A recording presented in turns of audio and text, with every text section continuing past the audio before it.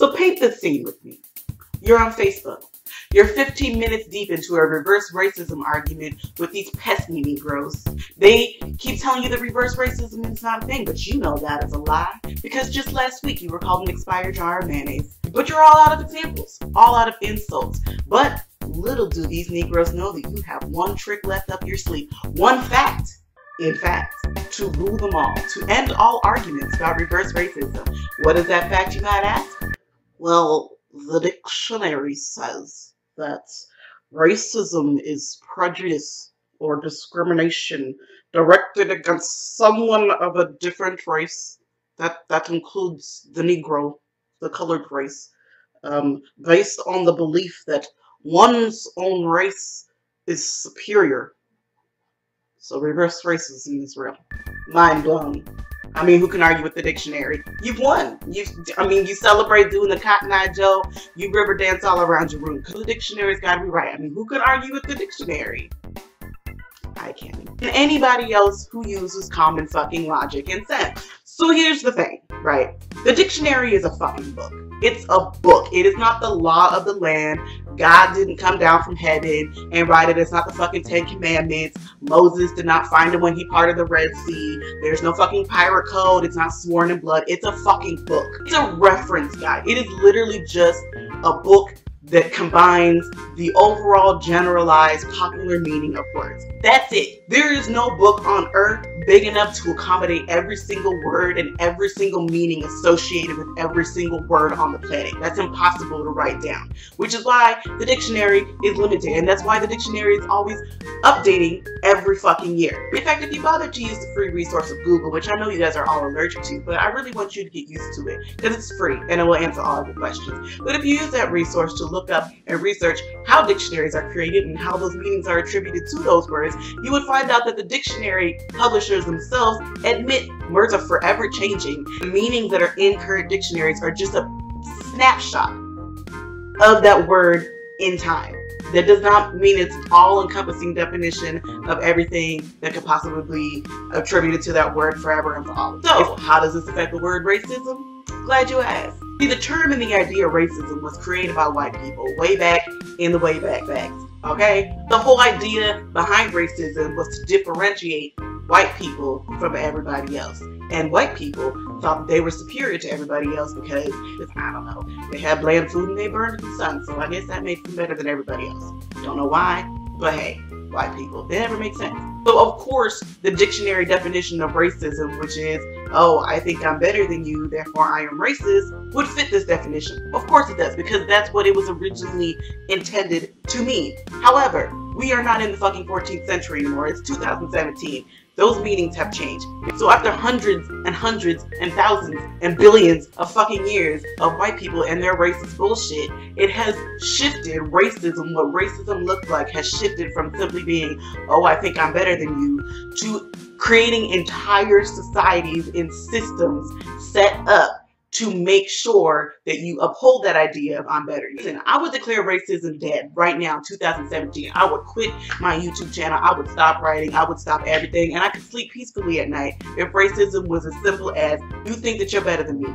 Okay? And who gives a fuck? You can think you're better than me if I want to. But the problem is, is it's not simply you thinking that you're better than me. You can think that you're better than me. But the difference is, is you guys have not created systems to make sure that you are better than us even if I was better than you, whether it's academic, skills, whatever it is, I'm still a step behind because you've created systems to make sure that I stay a step behind. So it doesn't matter if you think that you're better than me or not. There are white people who don't think that they're better than black people or Asian people or whatever the whatever the case may be. But guess what? They're still one step ahead of everybody else because you guys have created these fucking systems to make sure that we stay that way. Whether it's wage gaps, whether it's these ridiculous fucking laws, whether it's police brutality, all of these things implemented into our systems to make sure that that idea is upheld, whether or not you personally believe it or not. Um, well, only black girl. Um, that's cool and, you know, no, whatever. But just because you don't like a word in this meaning doesn't mean you can change that meaning. You know, I'm so glad that you brought that brought that up, Nathan Bob uh, Johnson. So I'm not sure if you skipped grade school, but I know I did. And one of the things that you learn in like a first English class that you ever take, like first, second, third grade, I don't know. Um, but one of the first things that you learn is that words have multiple meanings, right? And um, there's such thing as context. And when you put a word into context, that meaning might change a little bit. So that is exactly the same thing that's happening here. Dictionaries are opinions. They are not written in law, like we discussed. There's no dictionary committee that sits down and debates the meaning of words and then the popular vote or, you know, the fucking dictionary senate decides that this is the word that means this thing and that is forever and for always. It's not a thing. It's literally just based on fucking opinion. And when white people are the ones writing those opinions, whose opinion do you think is going to favor? white people. So of course, that same dictionary definition of um, you're so mean to me, so that's racist Of course, that's gonna be in there. But guess what, sweetheart? Like I like just said, when you apply context of the world in 2017, it just don't fucking work. There's no right or wrong definition of a word. There's a popular or more commonly known or used definition for the word, but that doesn't mean that any other definition is wrong and this one is right. For example, according to the dictionary, the word twist means to rotate something around that remains stationary. But you also know what a twist is? Isn't also a lit ass dance. Did you also know that Shirley Temple is a person, but it is also a non-alcoholic beverage that is quite lit? So yes, while those dictionary definitions of words are quote unquote correct, right? Those are only taken at face value. When you apply context to them, those values change. They switch up a bit. So when you apply social context to the word racism, it no longer is just that face value of just, oh, well, you're mean to me. Who gives a shit, bitch? Get over it. Yes, that is still the foundation, the face value underlying idea behind racism, right? So whatever context that you put it in, it still goes back to, I think I'm better than you. Yes, that's fine. But when you build these systems on top of it, it no longer is just, I think I'm better than you. Now you've made it so it's a reality that you're better than us. That is why this definition of racism, meaning race plus power, is so important because in order to truly be racist, you have to have the power to do so. If I walk outside and punch a white person for being white, okay, yeah, that was me. It was rude, but you're still white. You're still going to benefit from everything. I'm still going to go to jail. In fact, I'll probably be murdered before I even get to the jail. Meanwhile, if you flip the script and a white person walks outside, a police officer goes down the road and shoots a 12 year old black boy, guess what? He gets to go off on a fucking paid vacation for three months. See the difference there? I can call you an expired jar of mayonnaise, but will that stop the fact that I get paid less?